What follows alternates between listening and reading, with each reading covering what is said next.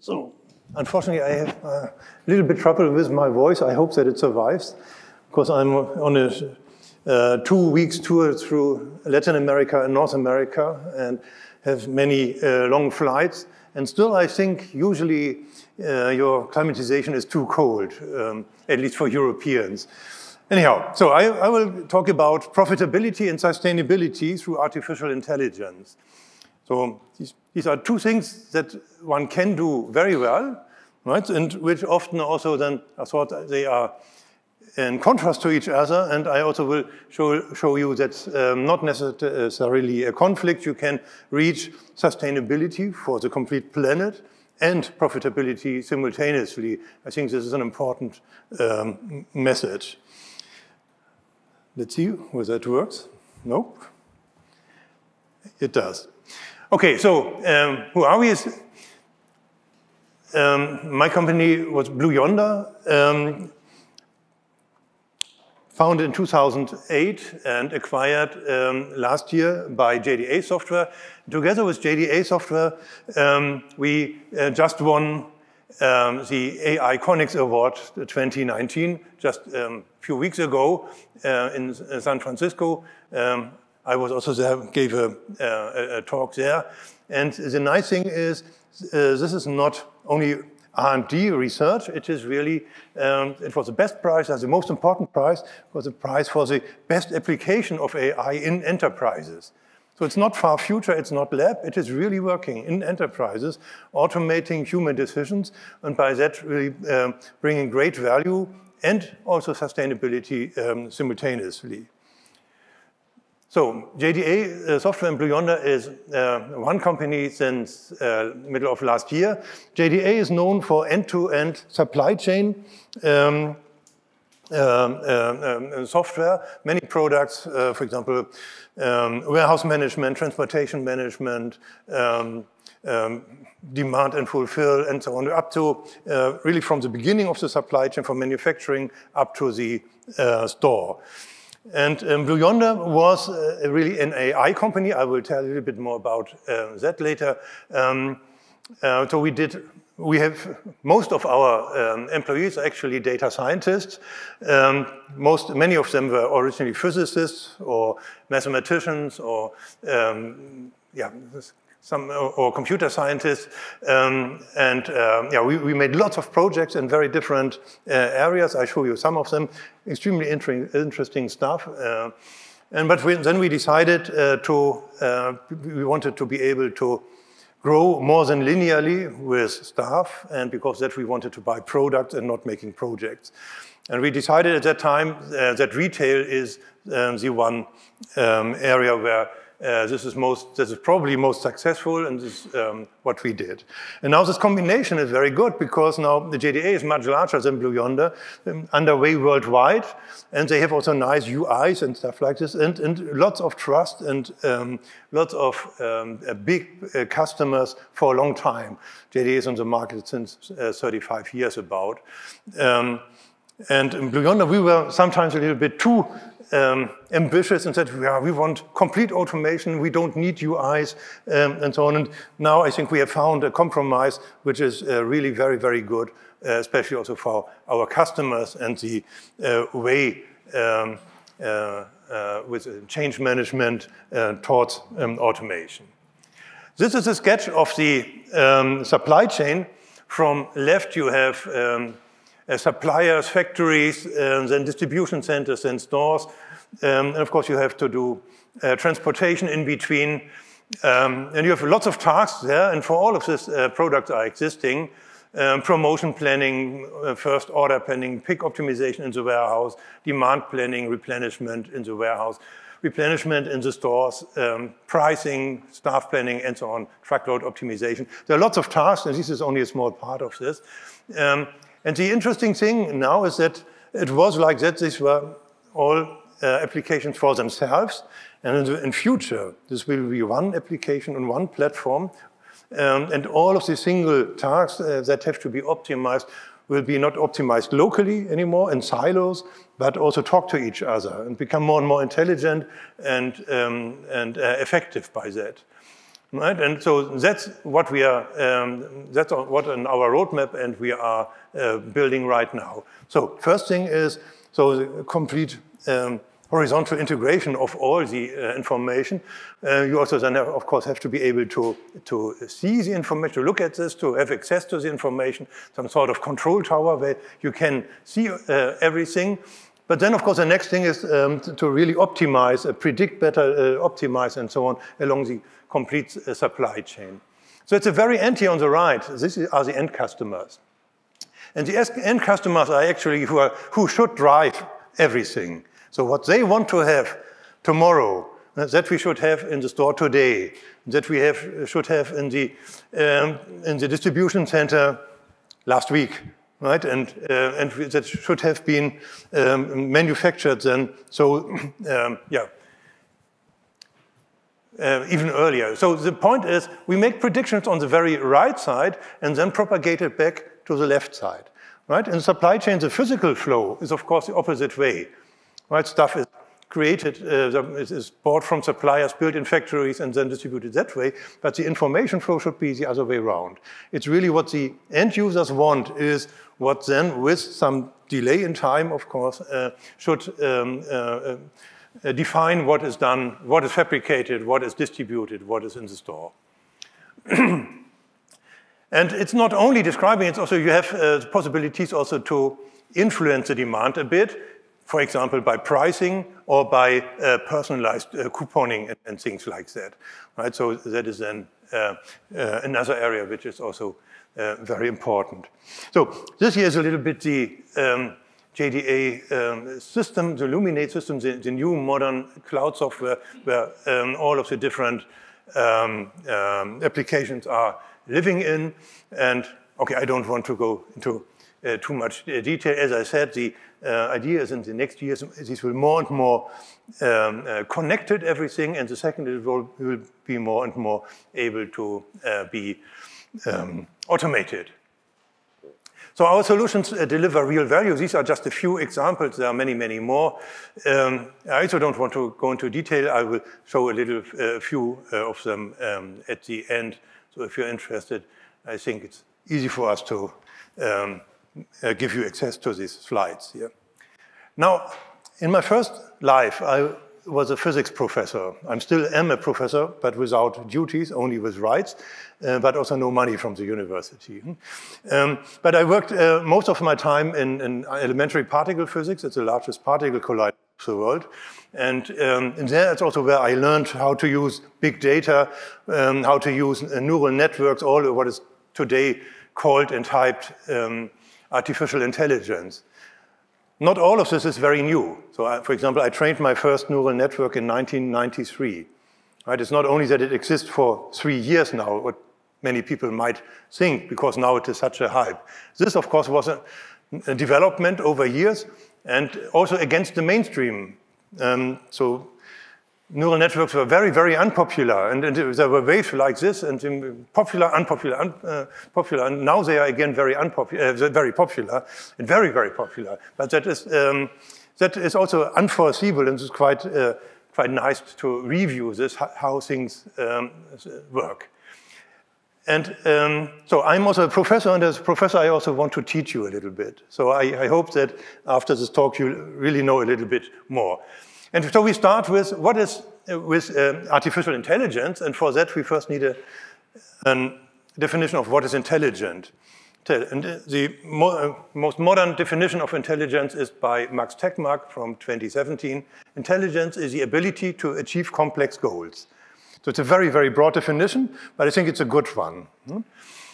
It also subsumes what's written in the Oxford Dictionary. Intelligence is the ability to acquire and apply knowledge and skills you need that in order to solve complex goals, right? To, uh, to achieve complex goals. And artificial intelligence is all intelligence that is not human or non-biological uh, intelligence. So if it's in a computer or a robot or something like that, then we call it artificial uh, intelligence. And most of it is actually computer software and must not at all be connected to a robot that looks like a man. Right? So this is uh, in science fiction like that, but in reality not. it's also um, useful to, to make a short review of how life developed. Right? Um, life is defined as a process that retains its complexity and replicates. And uh, we today um, distinguish between three different life forms. First is biological life, trees and uh, plants and uh, animals and humans. Right? Uh, here, um, hardware and software is really evolving by, yeah, by uh, natural evolution. Um, so the main information carrier is the DNA, right? Um, uh, evolution takes millions of years, so it's a very, very slow uh, development, but very, very complex thing like the human came out of that. Right? And by the way, uh, for the information scientists, um, a human DNA um, is about 1.2 gigabytes of information. Not so much, right? And what we think nowadays, it's, it's not so much. Now this developed, as I said, over millions of years and 10,000 years. Right? And then suddenly the cultural life began. Um, here still the hardware is evolving, it's still us, it's still humans, and this is very slow uh, change, but software is now not only um, brought from generation to uh, generation, but we now design much of our software, what, what the contents in our brain, right? So our human brain uh, uh has a capacity of about 100 terabyte, and um, now evolution takes place in not millions of years, but centuries to decades, faster and faster. And this is accelerating um, through teaching um, institutions like first parents and kindergartens and schools and universities. Ah, and we can read books and we can um, watch videos and we can uh, have the internet and so on. And with more and more technology, it's easier and easier to gain more information. And the important thing is we don't have to invent everything ourselves, right? So we, maybe a physicist has to learn Einstein's uh, theory of relativity, but he has not to invent it. Because we have books and um, teaching organization, um, this goes much faster. So if you think back, um, then it really started about 200, 250 years ago that uh, the evolution then suddenly made a, um, um, yeah, a huge jump, and now it's really an exponential growth and knowledge of the mankind. Of mankind, it's very, very, very fast evolution.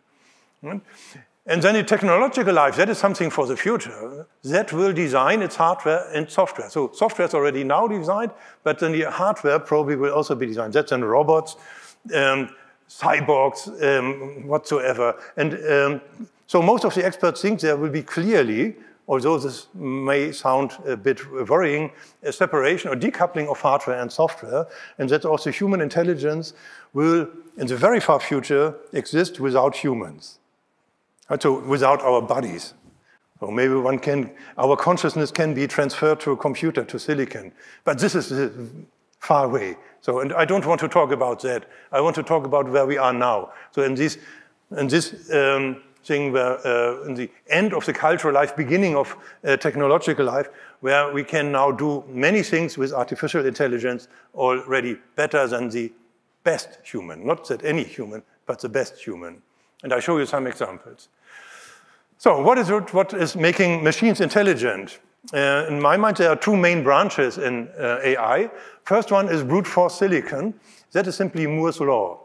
Right, so we can do today things that were completely impossible uh, 10 years ago or 20 years ago. And I was a researcher on this the whole time.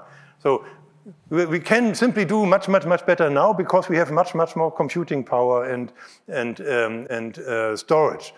Right, so it, it doubles every 1.8 years or so the, uh, uh, the uh, capacity, and this helps a lot. And in, in, recent years, machines have learned what humans can do easily all the time, but it was very difficult for computers. They learned to, to see, uh, to recognize objects and pictures and persons, um, to understand text, and um, to drive a car right, with autonomous driving. These are things that I mean, for humans, you would say, okay, everybody, every, everybody can do it. It's, you don't need too much intelligence for that. Um, but for computers, it was very difficult a few years ago. Now, it's, uh, computers can do it. Right? So, and, the, um, and that's, as I said, mainly Moore's law, and the one algorithm that uh, is most popular there are so-called deep neural networks.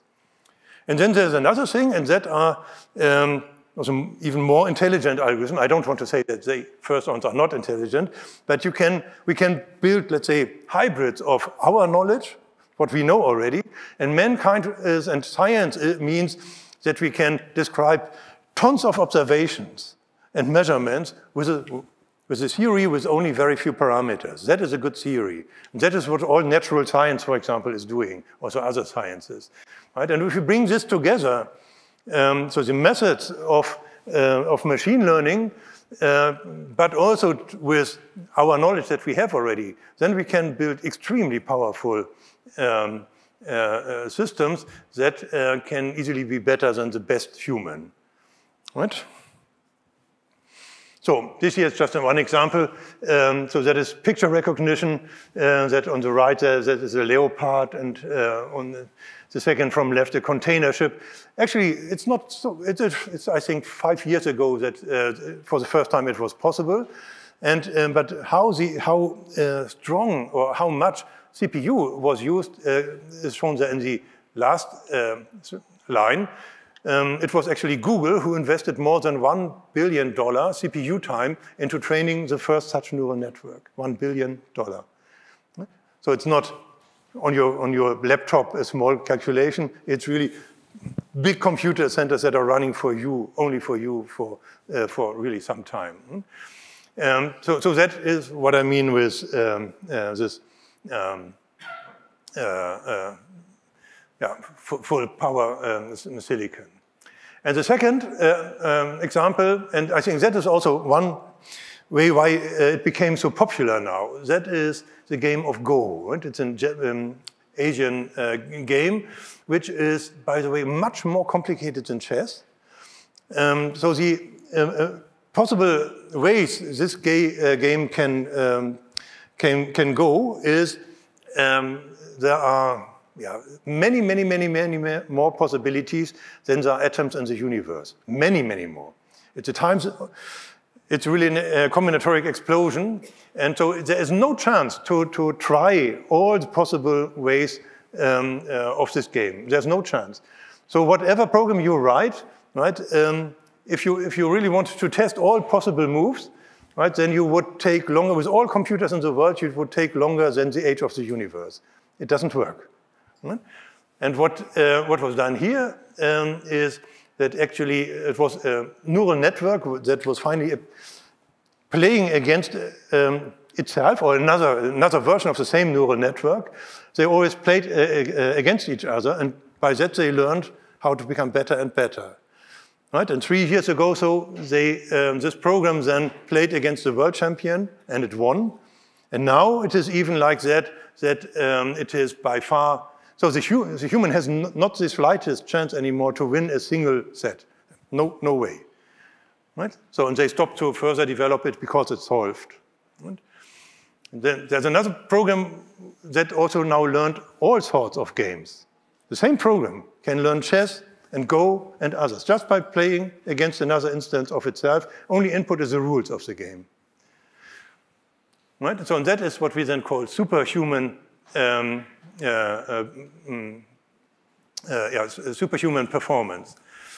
So, like accomplish complex goals.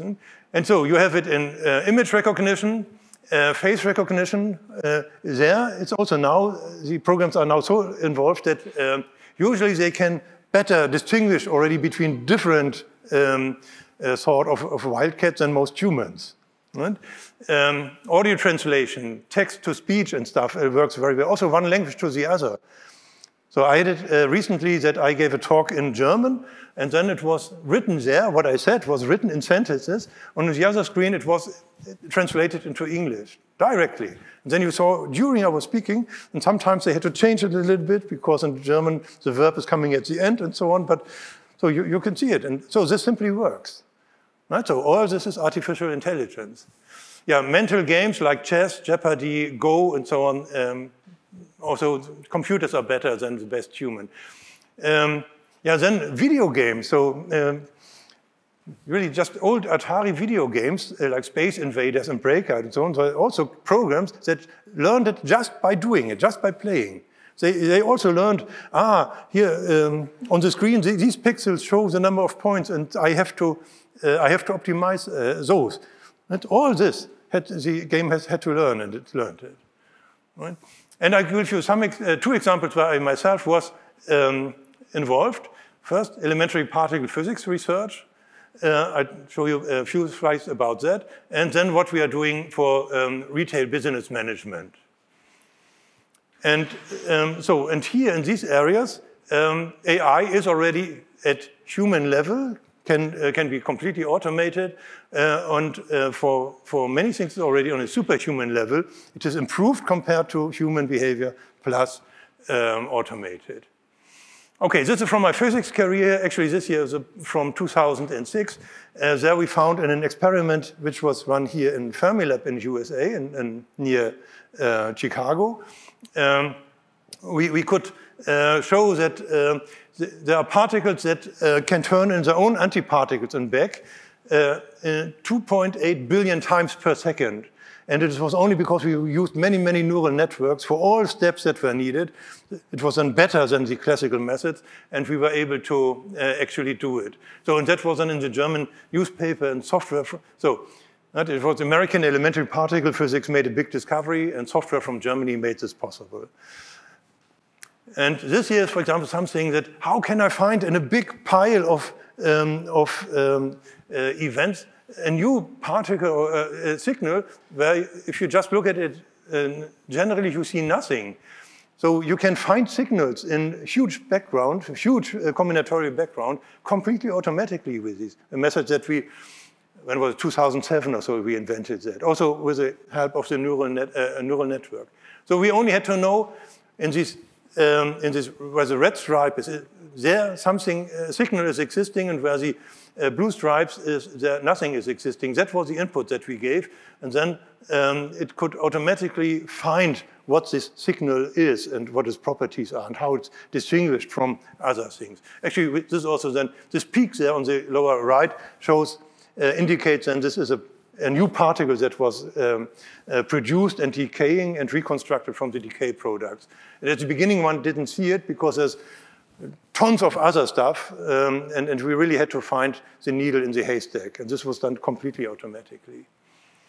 So we even then uh, put um, our uh, neural networks uh, on a chip and um, built directly on a um, uh, on a new, in a, a, new experiment that is built in Japan, there's so much data is produced between two collisions of particles that we, we, we don't have the time to read it out the, the detector, right? And now we have a chip directly on the detector, which already calculates um, what is the interesting stuff I see. Only that is read out, the rest not. And this thing uh, actually holds a world record. It is, it's written here. I think it's 8 billion, uh, yeah, last 8 billion decisions per, per second, uh, intelligent decisions per second. So it's um, so also speed can, can really be um, achieved very much. Um, okay, and that is I'm, I'm um, really very proud of. For one experiment that is uh, running in Japan, and it was, um, it was taking data over 10 years, and it was run by 400 physicists from all over the world, including myself. We made then, um, so we had lots of experience with it, and then we, uh, what we did is that we were automating our own work as research physicists because you think, oh, now we are more or less doing the same again and again. And we found that um, altogether, a research physicist must, if he does an analysis of such data, he makes 72 decisions. And then all these 72 decisions, we have trained neural networks on to make them better. And then ran the program on all the data that we have in this 10, head in this 10 years. And uh, the output was then four times as large as uh, the 400 physicists did together in 10 years, including myself. Right? So four times more efficiency on uh, uh, a huge data set, uh, petabytes of data, um, and the data taking had cost the international taxpayer 700 million euros. So an effect of a factor of four in efficiency has then a value of 2.1 billion euros. So huge value that we brought in here. And this was the work of our software plus three PhD students, cost almost zero. Hmm? Um, so I think, that, yeah, and so these are the really nice things, right? And now um, in, in, research, also medicine research, climate research, and so on, more and more of these methods are, uh, are, are, put in, and actually most scientists are forced to also become a data scientist now. That's a very important thing. So every, that's everywhere. And actually, I'm personally on the board of all German um, uh, uh, public research centers, whether it's cancer research, whether it's nuclear uh, power research or whatsoever, um, uh, the, um, they all have to, to be converted to at least part-time data, uh, yeah, data scientists. And um, so actually I'm on the board of that to, to um, pave the road on this um, way. So I, I, hope you have seen that there is uh, really value in that. And these numbers here are by McKinsey. Um, these are estimates of what AI, artificial intelligence, brings um, in value in an enterprise, to enterprises per year, but all enterprises of the world together per year. So and these numbers here are in trill trillion dollars, trillion, so it's really a, a huge number. Right? But remember, I told that I personally have done $2.1 billion already um, some years ago. Um, so th this is value for trillion dollars, and um, the bubbles here show there are two big bubbles, and one is marketing and sales. That is especially what um, Google, Facebook, and so on are doing, right? but not only, but, but mainly, these are the big players there. And the second largest bubble, almost as large, is supply chain. Ah, so, and, and that is what, what we are working on. So uh, that is the um, value generated for the whole world per year by AI, introducing AI into the supply chain. Huge. Right? Okay. Again, you have to learn something. um, decisions under uncertainty. Um, so most uh, important uh, personal and professional um, decisions that we are doing are actually by gut feeling. Right? So they are not, we don't calculate something and then say, okay, we do that, but somehow we have a feeling. Right? And this year will certainly not be uh, uh, automated. One example there is, for example, should I marry this woman? Um, but uh, I was strongly criticized for this because that's nowadays not true anymore. These questions are also now more done, more, more done by computer algorithms from dating portals and so on. Right? And um, so even these decisions are already on the way to be automated and data-driven. Right? So, um, so this already is a few years old, this slide with the 0%. I think I should change it. Um, but uh, operational decisions in enterprises, for example, in retail, can be automatic and uh, data-driven by AI to, let's say, 99%. And we have lots of examples where we achieve this. What kind of decisions are these? These are mainly repeated decisions that come in a similar form and again and again, like um, orders. Right? So in a store, I have tons of uh, items, uh, many, many items, typically 40,000 or so in one store. You have many stores, but every day you have to ask for anything. Do I have to order, uh, to reorder them or not? And how many? Hmm? Or what is the right price for this item? right now in this store, given all the rest? Or should uh, my customer get a coupon or not?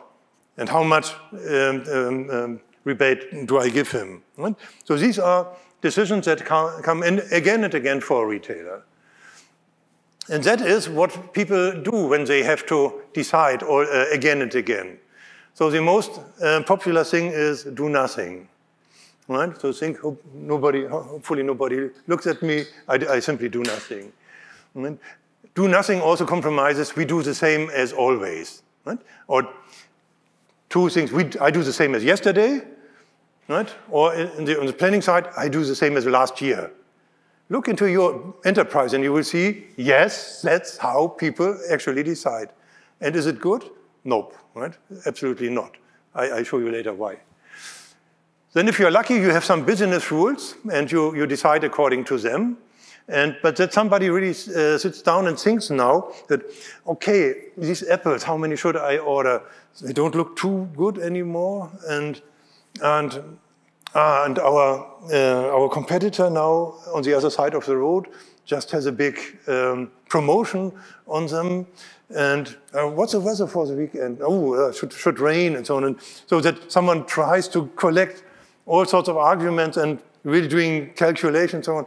Yeah, this almost never happens. Right? Especially not for those uh, regular decisions that you have to do every day. Right? Nobody does it. It's gut feeling, he says, this apple's um, uh, 250. Yeah, gut feeling, one second, ready, next. That's, that's how it's done in reality. And we have to understand why. This is how our human brain works. We have two decision systems again, built by evolution. Right? First is the fast intuitive one, the gut feeling one. And this was extremely, also animals have it, and this was extremely important um, to survive. Right? So without that, we wouldn't, I would not stand here, for sure not. Right? And, but then humans also have this flow rational system, where we really think or calculate. Some. But we are almost not using it. And why aren't we using it? It's very, very slow, and it takes lots and lots of energy. So uh, our body is trained on fast, intuitive decision, right? because we can do many of them fast and doesn't cost energy. Otherwise, we would sin like that and so on and have no time at all and so on. So you cannot do everything with this flow rational one. Hmm? And the human, uh, especially the system number one, has lots of so-called cognitive biases. So very often we actually come to wrong conclusions. And so if you don't know this book, then I really can recommend it by Daniel Kahneman. Um, it's a, um, a, Nobel laureate, um, thinking fast and slow, these are the two decision systems. Right? And he describes there all the research, all what we know about it in a very readable uh, way and, and very um, entertaining way. And so we then see also, we can really learn that, oh my God, he knows me very well. Yes, he knows all of us very well because it's human. No? And this fast, um, intuitive system with many, many biases. And that's another thing I can give you. Um, on, on Wiki there is a, list, or, list of cognitive biases. Look through this one. It's extremely long, and it's so funny. It's so funny what all, and, and you will recognize yourselves there. Right? And, but these are things that they are human, but they are not optimal. Right? And, um, and we can make things better by really uh, using um, a slow rational system, um, but to make it fast by a computer and AI. Right?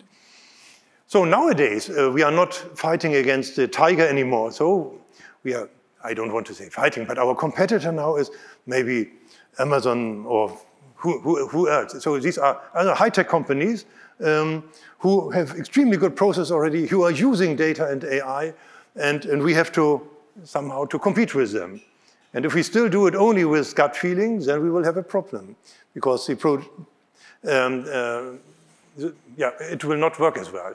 So optimal decisions today in the AIML world are uh, uh, should be um, done according to these uh, five steps. First, they should be based on objective data. Right? Second, you should make predictions of the near future, including uncertainty, I will say that. Um, then we should uh, have a cost of utility function. That is what we really want to optimize, be it profit, be it turnover, be it um, uh, no waste or whatsoever, or any combination. Um, then we have to do the optimization. So that is mathematical uh, optimization methods. And if we have to do it regularly again and for many, many decisions, then we should automate it. So that's a recipe, very simple. Now, if we, for example, want to make um, uh, demand predictions of that item here uh, in that store over there for next uh, Monday, let's say, then there are many influencing factors and we try to use all of them. For example, price, promotion, competitor price, uh, TV ads, uh, where are we in the season? Is it a local holiday, the day of the week, the brand, the weather, the weather forecast for next Monday?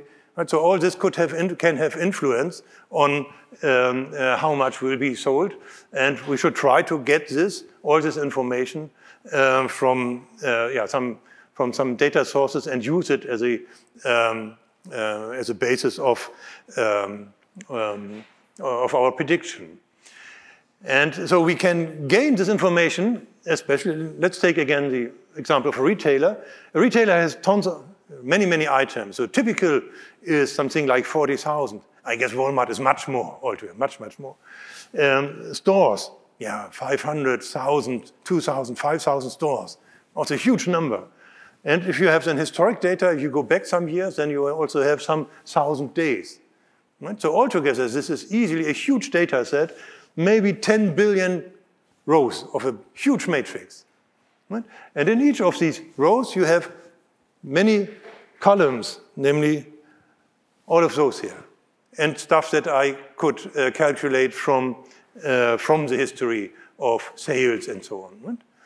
So these are um, typically many, many, many rows, and typically some, yeah, if one is expert, you, then, then you come along with about 200 influencing factors.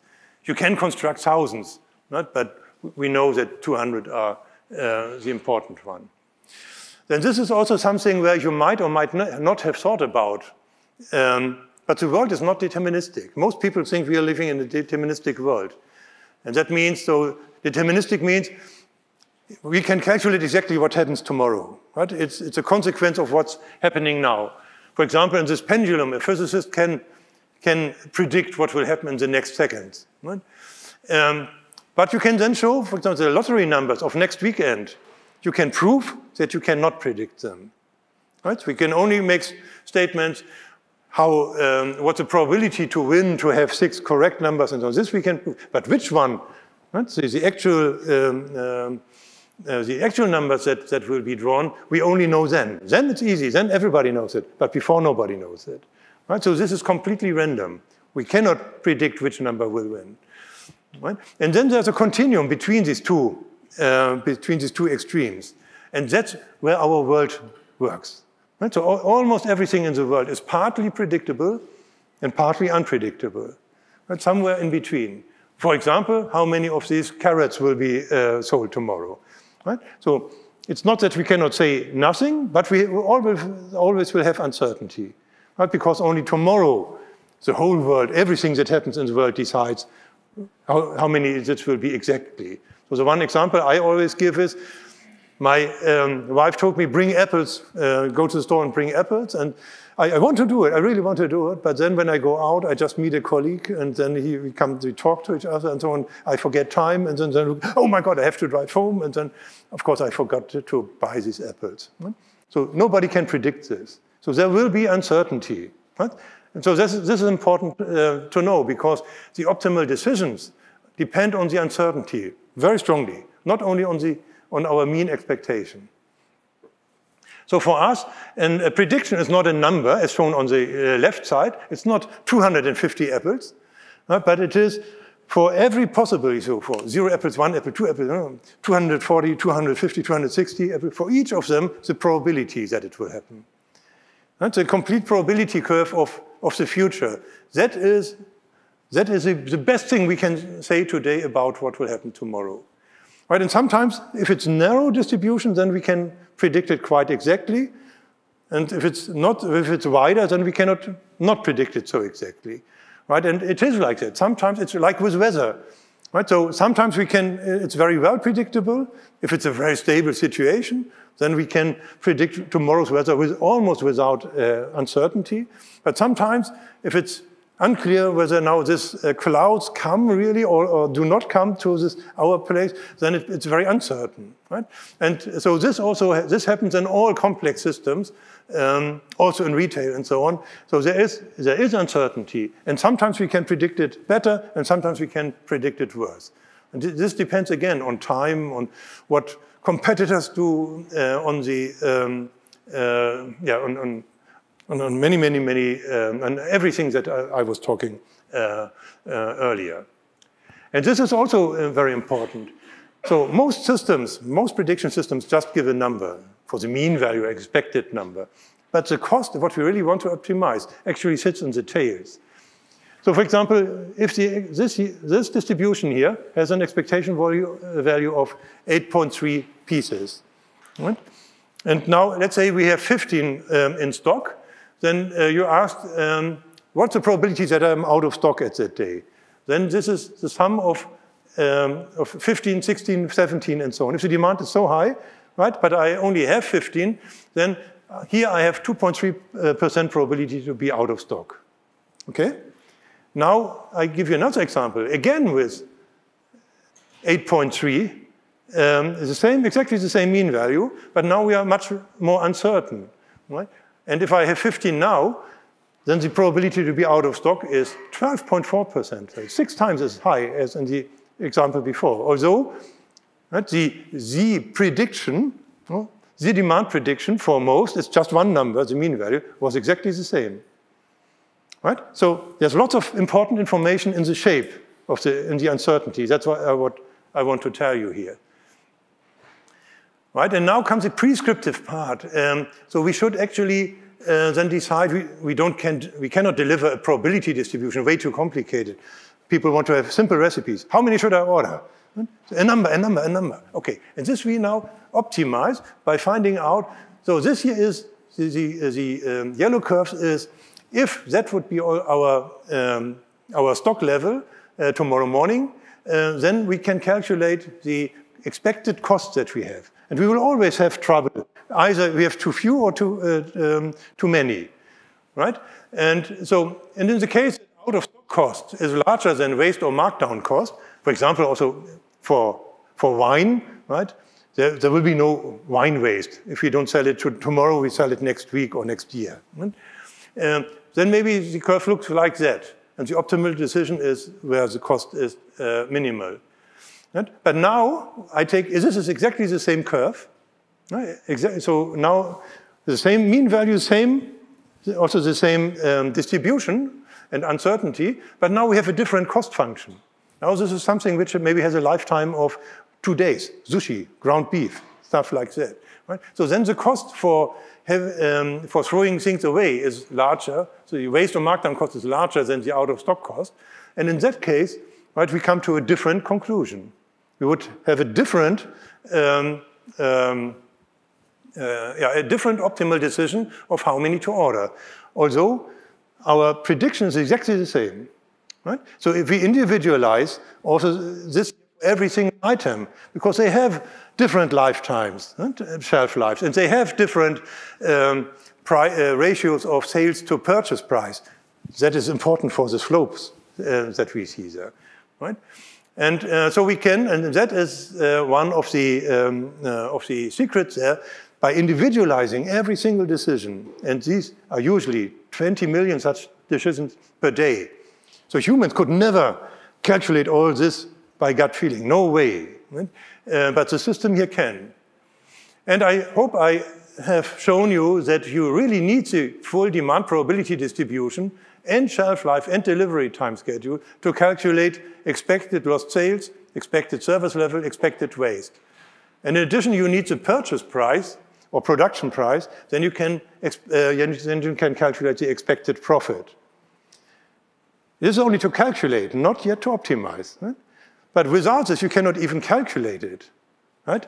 So, and the ability to calculate is a prerequisite of um, the, the ability to optimize right? And, and, uh, and, and, to uh, automate. So you must have it. So, and of course, if you have done many, many, many such uh, predictions and uh, optimizations and uh, recipes, then you don't, you, you don't want to do it by hand, you want to automate, right? So that's the story. Now, overcoming human bias, this here now shows um, how bad we humans sometimes are. Right, so what's happened here? Uh, this is real data from a German supermarket chain. At the beginning, they had about 7.5% out of stock items. Right? So not very good, 7.5% empty shelves.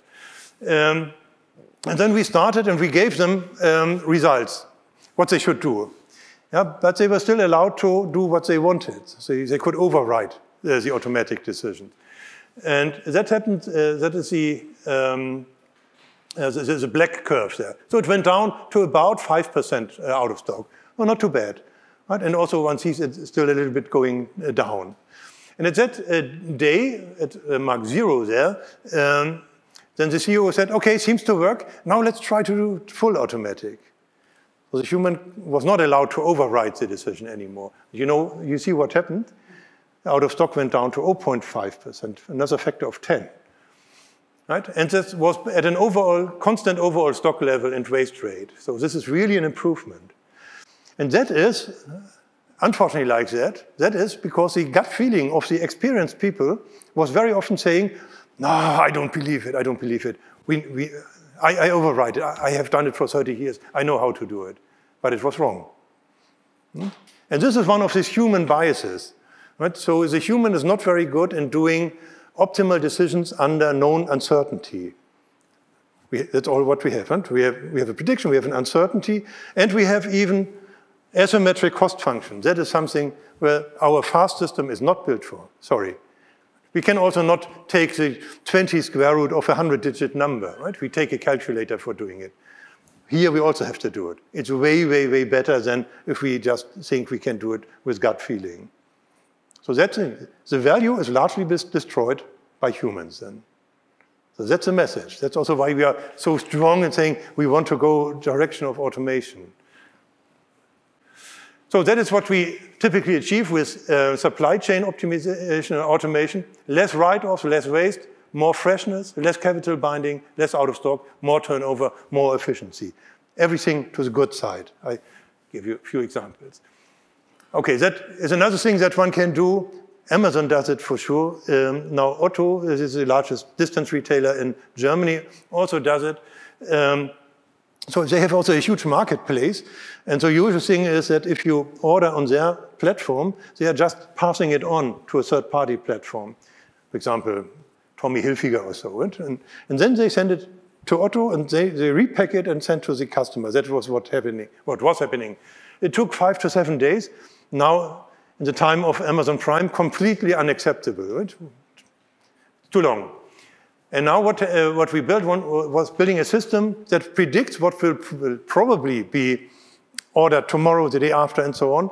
And then Otto already orders it from the third party before the end customer orders it, right? So, and in more than 99.5% of the cases, if the end customer then uh, sends the order, it's there already at Otto. And by that, they reduced the delivery time to one to two days, and that led to a huge increase in turnover. Right? So people want to have people uh, stuff immediately, right? Next day, if possible. Um, yeah, much more customer satisfaction, less returns, less storage, less deliveries per order. Also less deliveries per order. That's also important because I think maybe here not yet, but in Europe it starts to become also a sustainability thing. Right? So if every bloody single item that you want to buy, a lorry has to come through the whole town to your house and it is packed and so on, people are starting to think about it. That's not what I want. Hmm. Okay, another topic is price. Of course, price is very important. With uh, price, we can steer demand. Right? And price is a little bit different from the other thing because if we want to change our pricing policy, then we cannot simply learn it from the past because there was some pricing policy very often always constant except for the very last time. Um, and, and uh, in future, we want, if we want to, such a system wants to build a better price policy, then it has to unfold somehow from the data the uh, original price policy and to really calculate the causal effect of price given anything else. Right, so price now is a different, it's different from the rest of the variables. That is a different role because we can influence it. We cannot influence the weather forecast and so on. But we can influence it. And so this is uh, something uh, very different. And the training target for the machine learning algorithm is now not only a number, but a complete function, namely the demand as a function of a price change. Right? So it's more complicated. We need much more complicated if one does it right. Most of the stuff is actually done wrong from the mathematical standpoint now in, uh, in current uh, solutions. Um, so that's, that's the important thing there. So we have a complete uh, function to be learned, and we uh, have to um, and we have to, uh, to, use really causal argumentation. Also, that is working very well. Also, at 99% automation, if wanted. So the thing there is always do uh, do the people accept it or not? If they do, they make lots of money with it. If they don't do, we have hard fights to fight. Right? Um, And here we achieve more market share, more turnover, more raw profit, more customer, more new customers. So more new customers is certainly not because you are too expensive. Hmm? But more profit is certainly not because you are too cheap. Right? So again, here the, the secret behind it is individualization. Right? The right price for the right item at the right time. That, that's the point. If you achieve that, then you can make all these things that are usually exclude each other um, work simultaneously. So, and that is what you can do. Um, so with introducing such systems, you come from one point to a, to a more efficient point. And uh, it, this, for example, now this is very new way of thinking. You can, for example, really plot profitability on the y-axis against waste. Because now we start in, um, uh, in Europe very strong to say, okay, we want to reduce food waste. I think it's also here becoming more and more important. Right? And so a retailer can also say, okay, now my strategy is, of course, I want more profitability, but also I want a good reputation and, and uh, um, re really reduce the food waste. And you, so uh, in the objective function that you want to optimize, you can do it, right? You can say, I think it's on the next page, the function could be something like delta profit over profit minus a constant uh, times delta waste over waste. Right? So Profit and waste is the, is the numbers that we have now. And if we introduce such a system, we want to uh, improve our profit and improve our waste. And with this factor alpha, we can steer how important is which compared to the other. And so this can be steered then by the customer's um, uh, management. So this point here then shows if the black point is a current policy, then in introducing these AI systems, you can go somewhere on these curves. Right? But where you are on this curve, this is still um, the management decision. Um, so it's the steering parameters of the algorithm that can uh, tell you, okay, I want, I really want to optimize profit, or I want to optimize. Um, uh, for me, even it's more important also uh, to reduce uh, waste. Right? So that's the decision of the. You can be anywhere on this curve, um, but the curves are always better than without AI. Right? So, so that's the main message there. Okay, and we are really proud that uh, very recently um, exactly this solution was uh, named in a Deloitte report uh, on the United Nations Sustainability Goals. Um, and it's written there, so our software is directly contributing to one of the targets of the United Nations. By 2030, half per capita global food waste at the retail and consumer levels. And it's nice to see then that um, a report is actually written, the JDA Blue Yonder solution is helping there. Right? So it's not only about profit, it's also about sustainability. Okay, let's see. I think these are some examples. Uh, I think time is almost over. I just want to say a few words that are um, important. So one of the things uh, we are doing that we have already productized is understandable or interpretable AI.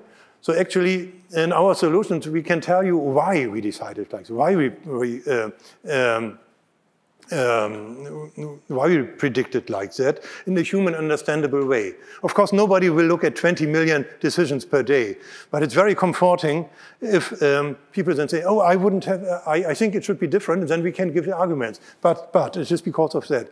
And then, then it, this is building lots of trust, and then, ah, okay, now I understand, yeah, maybe you are right.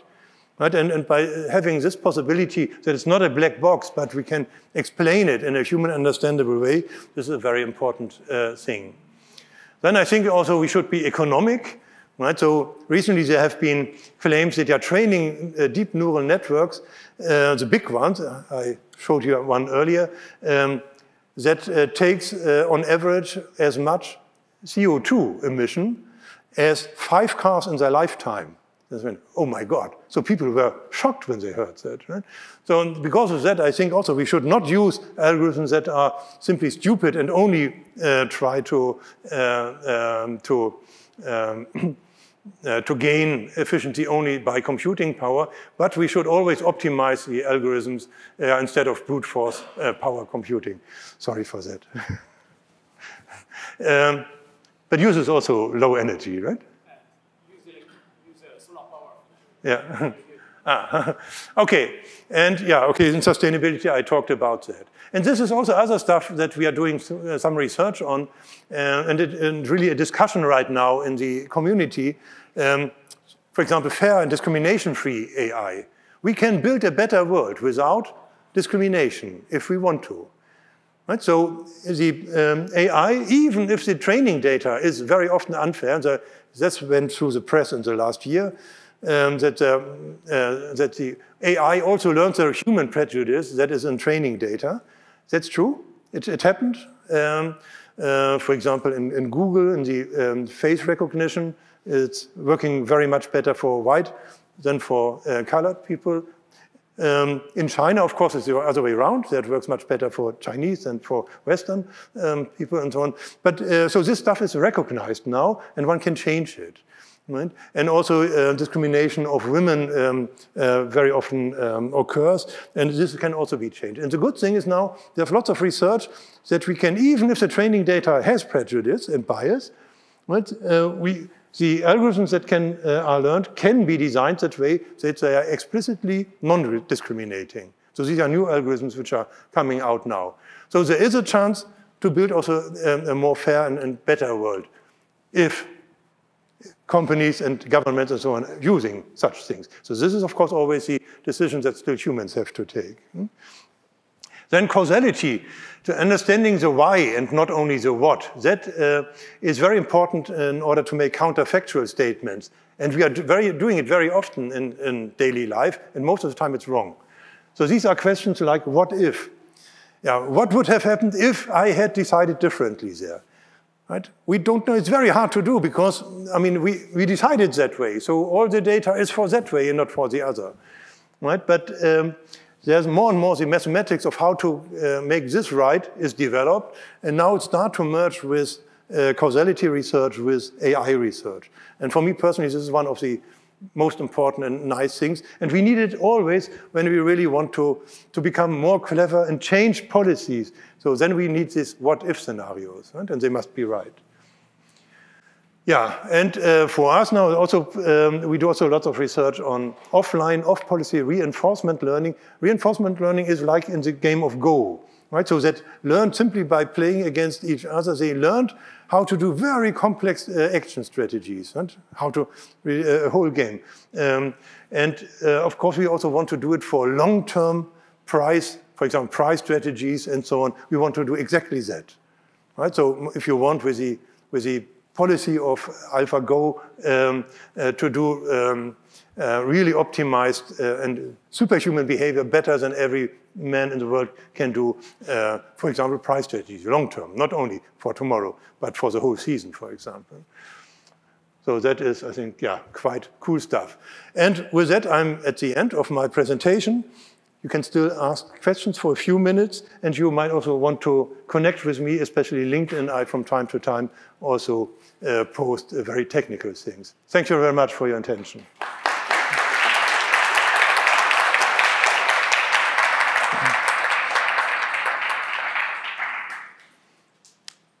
Any direct question? There's one.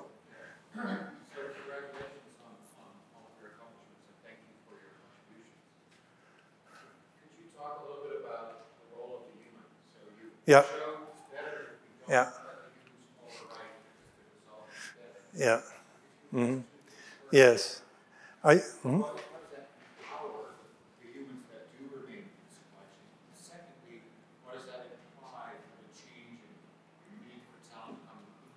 Yeah, yeah.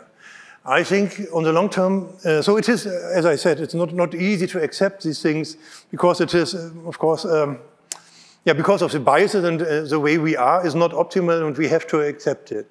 There are lots, I think the role of the human has to change.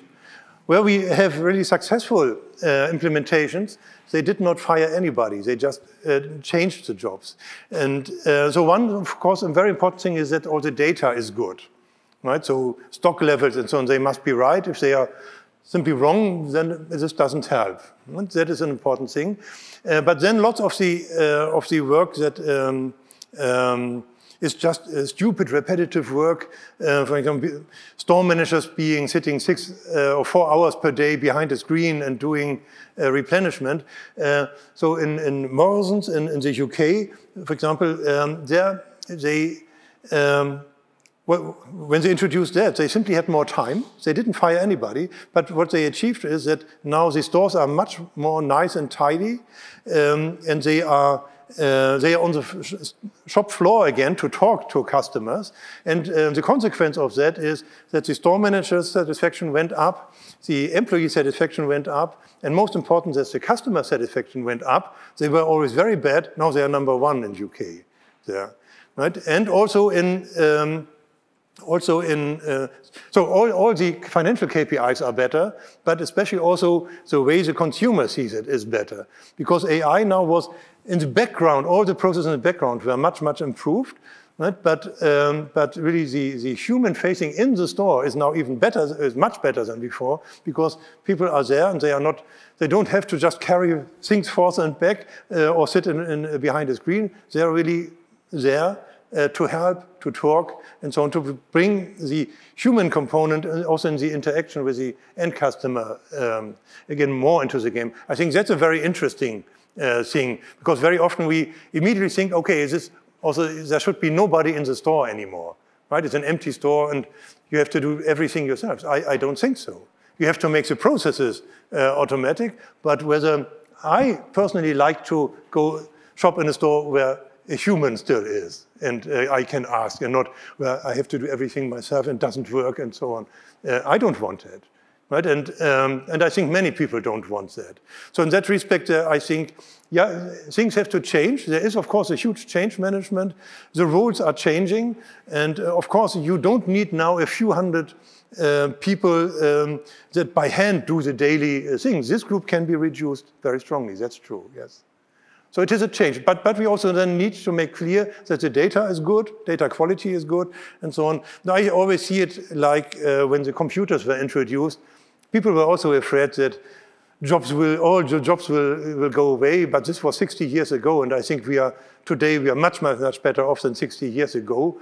Right? We have many more jobs, and we still have way too few people who can work with a computer uh, and, uh, and, and really do something with it. And I think that will be like that also in artificial intelligence for a long time like that.